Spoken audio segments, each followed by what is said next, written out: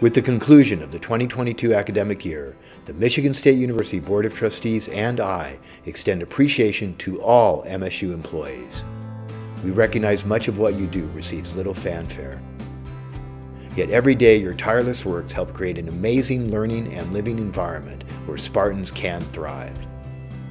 You manage day-to-day -day operations, whether behind the scenes or as a first point of contact in our community. You build and maintain our facilities with dedication and a focus on a greener tomorrow. You advance the health and well-being of our community, from supporting the dietary needs of our campus population to fostering a culture of support and safety.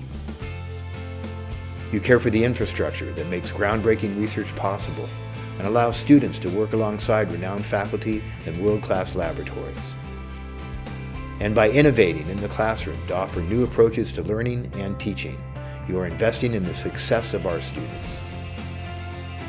Students and student athletes look to you for guidance on their educational journeys, helping them discover their sense of purpose and make the most of their time at MSU. Because of all of you, we have one of the most beautiful campuses in the world. Our student experience is exceptional, our academic and research programs are world-class, and our community is welcoming to all, helping every Spartan feel at home. People are the heart of this university. Our Spartan pride starts with you. On behalf of the trustees, the greater MSU community, and myself, thank you for everything you do for Michigan State University.